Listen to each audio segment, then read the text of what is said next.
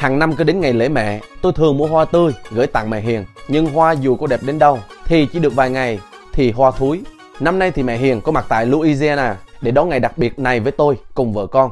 Thưa các bạn, ở Mỹ đây á, vào ngày lễ mẹ thì người ta lại đua nhau đi mua các món quà để hân hoan đem về tặng mẹ của mình. Năm nào chúng sanh cũng xài lên khoảng 30 tỷ đô la, cho nên không quá khi nói.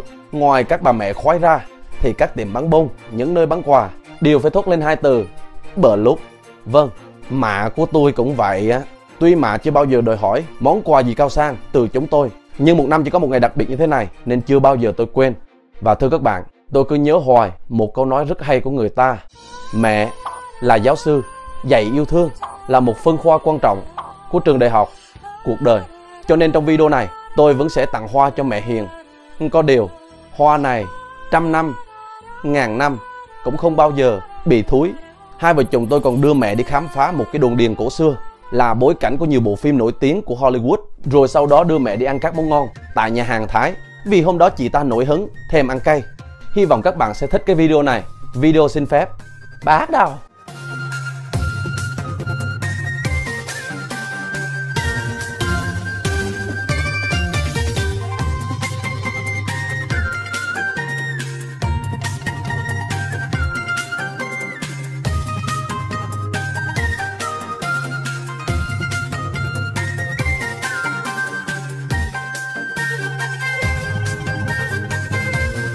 Này thưa các bạn, người ta có câu mà Trăm năm bia đá nó cũng mòn, bia chai cũng bể Chỉ còn bia ôm.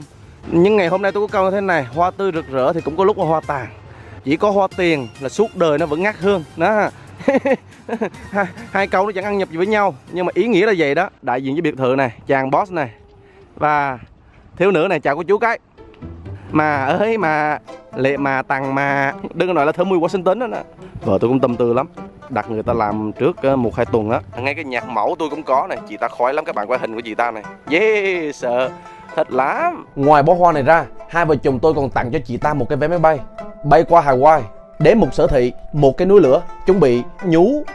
Rồi sau đó chị ta sẽ đi tắm bùn nên các bạn thấy đó, hành lý quả mướp không thiếu thứ gì còn nói về thiếu nữ sáng nay đã tặng cho mẹ của mình một sub voucher đại khái là những cái tờ phiếu dịch vụ trong này có nào là phiếu bóp chân phiếu massage lưng, phiếu phục vụ thức ăn bữa sáng.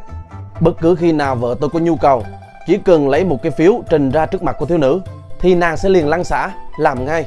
Nhưng điều đặc biệt về những cái phiếu này là hạn sử dụng đến một năm, có nghĩa là đến ngày lễ mẹ sang năm đó.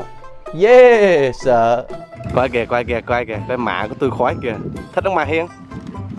Wow, hôm nay đông người nha. Quá trời xe này, cái dinh thự này đó, cái chỗ này đó. Nổi tiếng ghê lắm. Người ta tới đây không phải là cái bề dày lịch sử của chỗ này mà người ta tới đây tại vì đây là cái bối cảnh đóng rất là nhiều bộ phim nổi tiếng của Hollywood. Khác với các dinh thự với là các cái đồn điền nằm khắp nơi tại Louisiana. Nơi đây mình à, muốn vào cửa mình phải trả tiền. Một người lớn là 27 đồng. Nếu mình không muốn vào bên trong cái dinh thự thôi vào bên trong thì mình phải đi theo với tour guide nó phiền phức chúng tôi chỉ đi dạo khắp nơi thôi rồi mình ăn uống ở trong này. Đây đây đây đây. Vẽ vào cổng đây. Sao mà hiền? Thấy được không? Đẹp không? Thuận mặt ấy điều quan trọng là ở đây ờ, đông người như thế này tạo cho tôi một cái cảm giác an toàn thưa các bạn. An toàn đây không phải là ma mà an toàn ở đây là rắn nhiều người qua về rắn trốn hết rồi. Cũng đỡ. Đó, cái thiếu nữ này rất là thùy mị. Ngày lễ mạ nàng cũng thùy mị như mạ của tôi luôn. Ờ, đây còn vợ tôi cũng là làm mạ người ta rồi. Thưa các bạn hồi tối tôi tặng cho nàng món quà rồi. Món quà đó nói ra nó tế nhị không nói được. Mà chẳng bó được tội nghiệp nhất này. Sáng nay ngủ dậy bị sốt. Mà uống thuốc rồi, hết sốt. Cái dinh thự chính nằm bên kia. Góc kia kìa. Người ta lên đây luôn. Mới đi có vài bước mà mạ tôi đã suýt xoa. Thấy cái gì chị ta cũng khen đẹp. Còn quát tôi bằng giọng huế ngọt ngào tựa tiếng lục lạc của trời. Ở cái thằng khốn nạn chù đẹp như ri, mà chưa mày đưa tao đi trời ơi hoa kia mà mạ tôi cũng khen đẹp nữa. Mạ tôi đúng là phàm phu tục tử. Mạ tôi thực sự phàm phu tục tử. Cha tử tế quá ha. Sợ khách đi bộ ờ, ngắm cảnh đến loài vèo đó. Có bố trí luôn cái, cái chỗ uống nước này. Yeah sợ.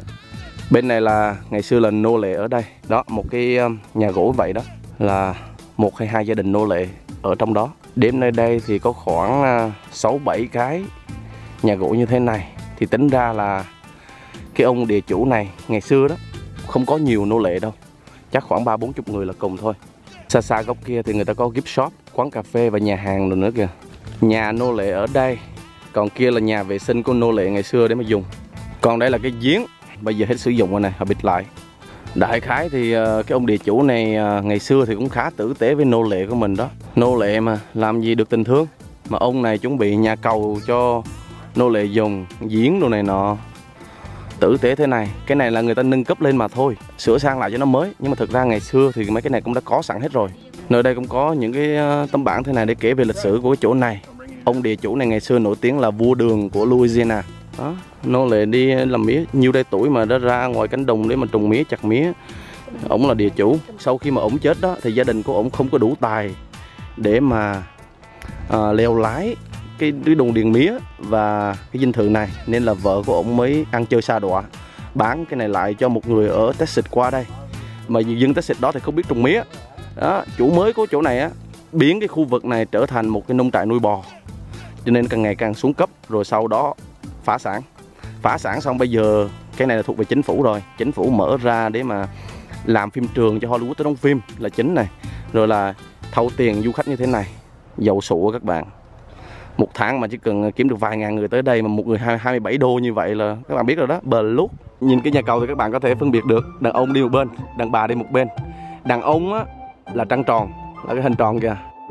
Đàn bà là trăng khuyết. Để phân biệt ra.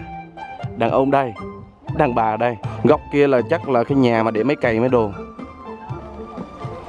Nói chung nãy giờ tôi kể cho các bạn nghe rất là nhiều nhưng mà mẹ tôi đứng sau lưng vừa kể các bạn nghe vừa kể cho mẹ Hiền nghe luôn. Mẹ Hiền có vẻ tấm tắc khen ngợi. Bây giờ mình à, mình làm trắc nghiệm nha, trắc nghiệm nhanh này. Mà cái nào đàn ông, cái nào đàn bà? vợ vợ tôi vừa mới nói là là, là tôi giải thích cho khán giả kiểu, kiểu gì tào lao hình tròn á là mặt trời cái này là trăng phân biệt là mặt trời và mặt trăng. Còn tôi thì tôi nói là trăng tròn trăng khuyết. Thôi kệ nó đi. Miễn sao các bạn hiểu được rồi đúng không? Để tôi ly cho các bạn ờ, coi nha. Coi ờ, nhà nô lệ như thế nào này. Họ không cho vào đâu. Nhưng mà mình đứng ngoài á mình uh, trường cái cổ vào thì ok. Cũng có bằng ăn rồi ông vậy thì ông chủ này quá bề thế. Hả? Ủa mèo. Mèo giả hả? Được cái chứ. Ngày xưa làm nô lệ mà có căn nhà như thế này là phước đức rồi đó nha. Tội chứ kìa tội chứ kìa bị sốt đó bị sốt mà đi theo hồ tống bà nội đó. Thương bà nội mới đi theo đó. Tội nghiệp lắm. Áo sơ mi lịch sự như ai rất là lịch lắm Rồi đi chứ đi tiếp chứ. Rồi đi mẹ hiền tiếp tục mẹ hiền ơi tiếp tục mẹ hiền ơi. Thấy mẹ hiền thích là tôi vui rồi. Má má là bờ đê cho con nằm ngủ. Vâng thưa các bạn ngủ bờ đê nó ngủ ngon hơn khách sạn.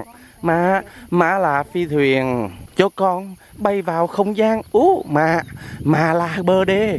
Cho con nằm ngủ ngủ bờ đê, ngủ ngon cái khách sạn năm sao. Mà thích bài nhạc nữa mà hãy mà. Number one. Coi này, coi dinh thự nó xuống cấp lắm rồi, thấy không? Mái nhà rồi nè, bị rỉ sét này nọ. Dinh thự này thì không phải là dinh thự nổi tiếng nhất của Louisiana đâu. Cái mình nổi tiếng nhất là dinh thự Norway Plantation á. Cái này thì nổi tiếng là cảnh đẹp đồ này nọ, rồi hoa đồ nhất là cái hàng cây úc. Quan trọng là dắt mẹ tôi vào đây mẹ tôi cũng phải chẳng phải là người mà hứng thú về lịch sử. Chị ta thích cái gì đó thiết thực hơn. Đó. nhìn thấy rồi mới tin. Cho nên là dắt mẹ tôi vào đây cho mẹ tôi ngắm cảnh đẹp nhất là ngắm cái hàng cây úc đó. Thì còn uh, dắt lên tòa nhà này nghe người ta kể lịch sử thì mẹ tôi chẳng khoái đâu. Tiếp tục tiến bước tiếp tục tiến bước. Tiến ra đằng trước là cái chỗ mà nổi tiếng nhất của toàn dinh thự này. Là đằng trước này đây tiến ra tiến ra tiến ra tiến ra.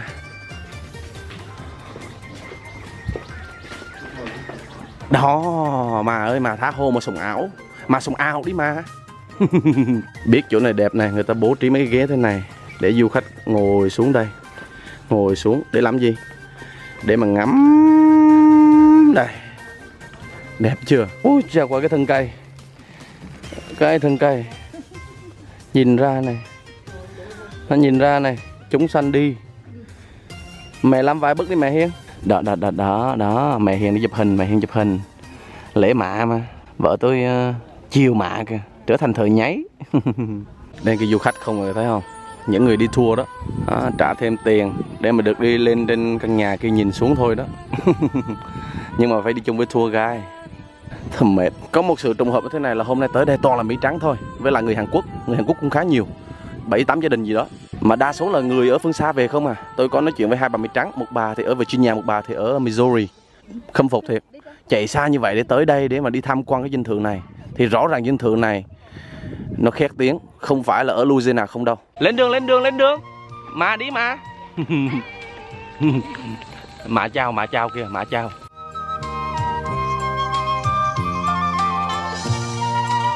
Có một điều thú vị về về cái dinh thự này đó ở Louisiana hàng năm ờ, hầu như là năm nào cũng có bão.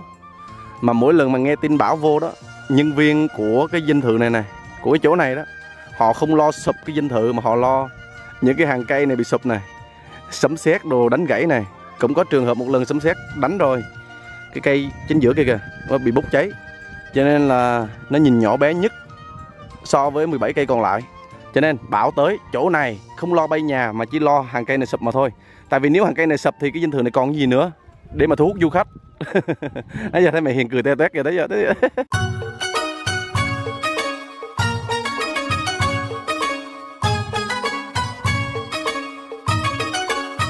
À Thì ra là 28 cây, Chứ không phải 18 Lúc nãy tôi nói bị nhầm, Tại vì tôi đếm rồi.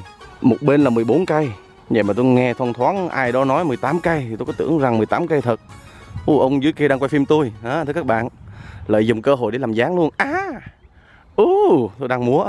À! Hi sir. Am I beautiful? Trời ơi, cái cây này cũng được tính là một trong 24 cây đây hả? Chắc là bị xét đánh rồi này. Chết rồi nè bây giờ mới vương cành này. Trỗi dậy một lần nữa này. Đằng kia là con đê. Cái thảm cỏ xanh đó. Qua bên kia con đê á là dòng sông Mississippi.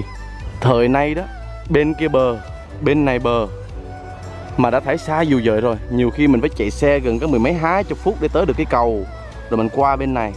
Huống hồ gì là ngày xưa. Ngày xưa mà chưa có cầu á. Khi mà chưa có ông Andrew Carnegie mà ông uh, dựng lên cái cầu bắc qua dòng sông Mississippi huyền thoại đó thì thời đó là người ta đi là toàn đi bằng thuyền ghe qua lại thôi cho nên là người ta nói rằng á, ngày xưa mà đi từ bờ bên này qua bờ bên kia là giống như một biến cố.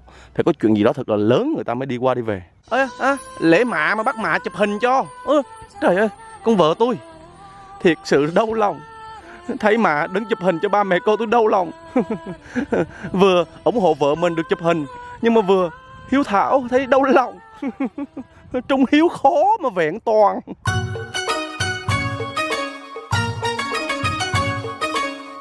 Mẹ Hiền cứ dùng những từ ngữ có cánh để ca ngợi về cái chỗ này. Nào là, cảnh đẹp như tranh vẽ, Giống như lạc vào khu vườn cổ tích. Và, tươi xanh vô cùng. Thú thật với các bạn chứ, Hai cái câu khen đầu tiên á, tôi còn chấp nhận được. Chứ còn cái câu, tươi xanh, Thì công nhận mẹ tôi dở hơi. Vì tại Louisiana của chúng tôi, bốn mùa đều tươi xanh vậy á, dù là mùa thu hay mùa đông, thì lá cây cũng chẳng thay màu mảy may nên không riêng cái chỗ này nó tươi xanh đâu, mà nằm nhan nhản khắp Louisiana. Điều vậy á, vì cái lý do đó, nhiều nhiếp ảnh gia chuyên nghiệp đến tác nghiệp tại Louisiana. Sau khi ra về, họ đều thốt lên rằng Louisiana tuy đẹp, nhưng là một nét đẹp ngoan cố. Sao? Ngắm cảnh đã rồi. Chụp hình cũng đã rồi. Mạ bị bắt chụp hình loài phèo. Vợ tôi cũng bị bắt chụp hình loài ruột. Bây giờ chúng ta đi ăn kem hoặc là uống cà phê gì đó cho nó mát ruột nó nhuận cái tràng. Ui chào quả chúng sanh này tới đi thua quá trời quá đất. Tôi phát hiện ra là hôm nay đó Đa số là chồng dẫn vợ tới đây tham quan Hoặc là con cái đưa cha mẹ tới đây Đi chơi Dễ thương. Nơi đây chảnh thiệt đó chứ Cũng cho quán cà phê và tiệm kem rồi nhà hàng đồ vô đó.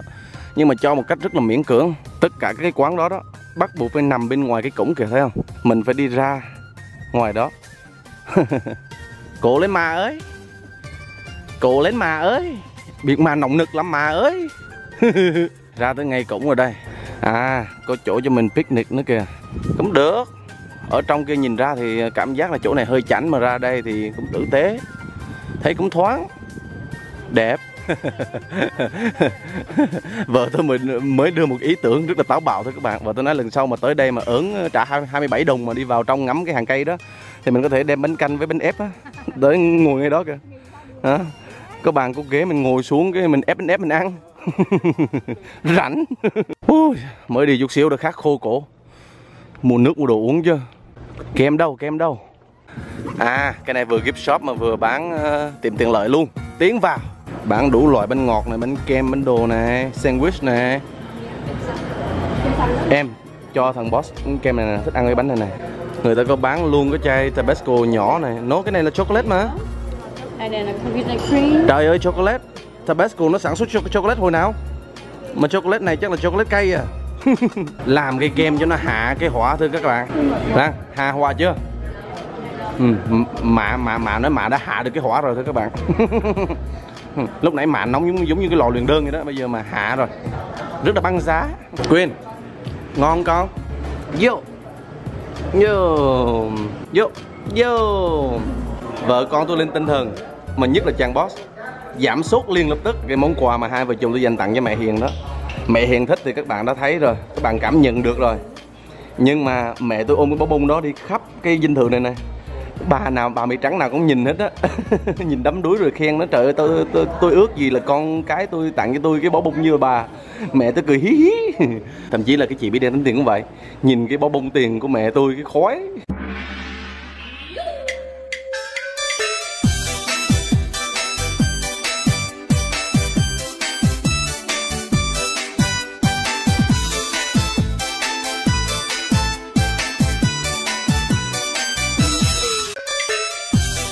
Ủa hôm nay là lễ mạ hay lễ tôi vậy? Bữa người ta mạ tôi mạnh bạo quá. Hết cây kem rồi Quất luôn cái bánh. Mạnh bạo quá, mạnh bạo quá. Ở trong này có một cái nhà hàng Nhưng mà nhà hàng đóng cửa lúc 3 giờ. Bây giờ thì đã gần 4 giờ chiều rồi Nên không thể nào mà cho Mạ Hiền à, đi ăn được Ở đây được. Vừa ăn kem xong Chúng tôi rời khỏi chỗ này. Mặc dù mẹ Hiền còn lưu luyến Nhưng chị ta than đói Còn nói rằng ăn kem xong thấy lạnh quá Tự nhiên thèm ăn cái món gì đó Càng cay càng tốt tôi liền nghĩ đến nhà hàng Thái ngay và thế là chúng tôi lên đường. Trước mắt các bạn là cây cầu kép dài nhất Hoa Kỳ, chiều dài của nó lên đến 39 km.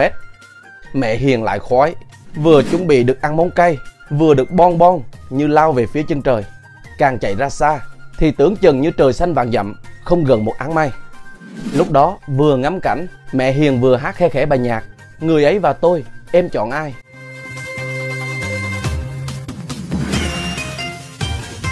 Và rồi, chúng tôi đã tới. Mạ vừa chạy vô, vừa nói Sao qua đi cáp, cặp côn cáp kia ti sắc Hoàng Anh Gia Lai?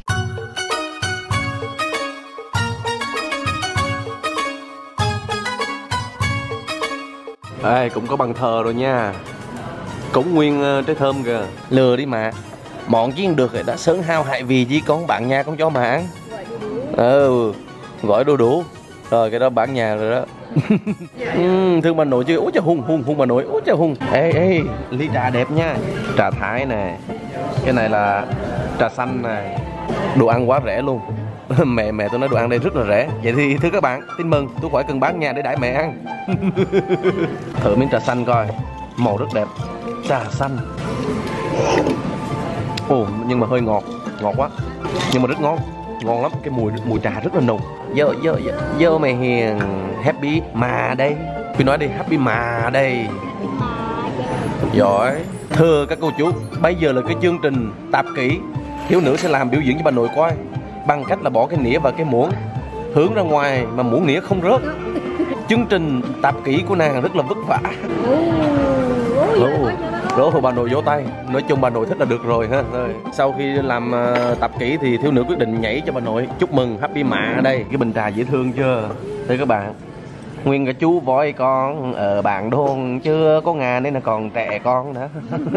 Mẹ tôi cười Cha thì hát con thì nhảy. Út trời nó hung bà nội kìa. Út trời nó hung bà nội. Út trời nó hung bà nội. Mà ơi mà Mà uống thử cha chủ voi con ở bạn đốn ấy mà chứ còn nga đến chủ con tè có con mơi mà. Chơi con chuột đi hả? Mà còn mình vỗ một cái. Đây, một, hai, ba. Vỗ.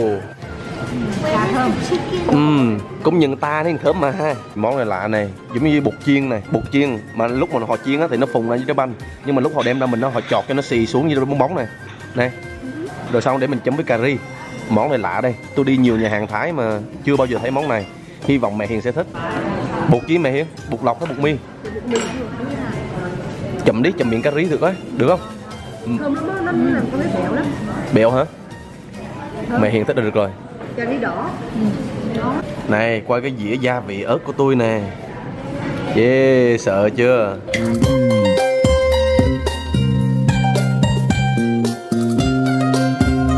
Cà ri nó béo Nước cốt dừa thơm lừng lừng luôn. Cây cây thế thế. Ừ.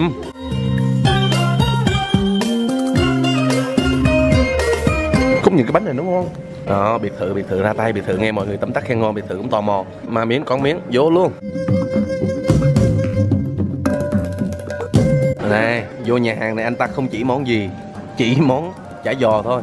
Mạ thèm đồ cay. Tới cái chỗ này chính xác là cái chỗ thiên đường cay cho mạ luôn. Cái ớt dầu này nè nó cay kinh khủng. Tôi chấm chút xíu chả giò với lại uh, cái bánh bột đó. Chảy mồ hôi liền lập tức. Đó mẹ hiện bắt trước tôi kìa cũng làm một dĩa. Phê không? Phải từ cay không? Cay không? Uhm, mà hiện nó cay cay cay. Thỏa mãn chưa thỏa hỉ thỏa? Đây của con đây. Hai chị em share với nhau ăn hết đâu? Gà nó chiên cái màu đẹp chưa?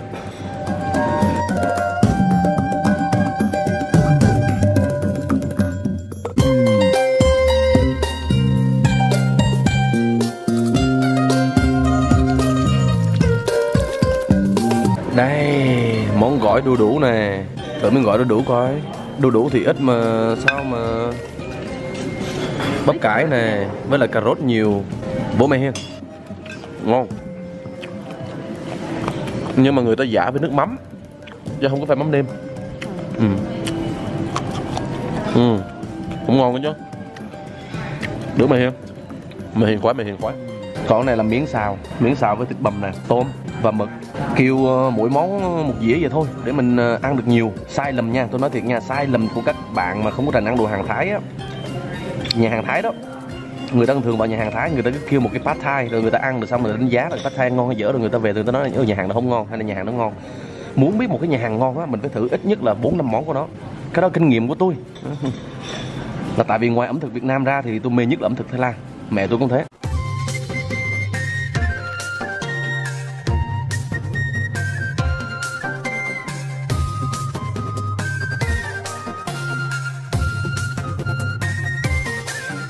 đây sôi sôi sôi mình kêu một phần sôi đem ra như thế này. Uhm, mùi nếp ngào ngạt mùi nếp ngào ngạt.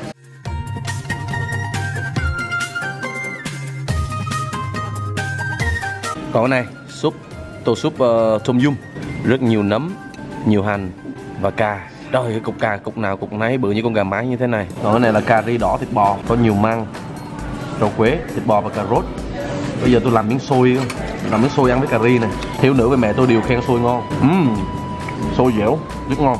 Làm miếng măng à. Lúc mới ăn á, mẹ tôi càng lướt, rồi hít hà, đôi tay thò xuống thụt lên như lò xo. Nhưng bây giờ chỉ còn một mình tôi. Và đây là món cá chiên ăn với sốt chua ngọt. Đây là món ăn mà tôi ấn tượng nhất ngày hôm đó. Còn đây, món cuối cùng cơm chiên hải sản. Cũng có măng. Hả chanh. Sò điệp. Hấp dẫn hấp dẫn hấp dẫn hấp dẫn. Dặn họ là phải làm thật cay. Hỏi từ số 1 đến số 10 số mấy? Tôi kêu xuống 25 vô. Uhm. nóng nóng quá nóng quá.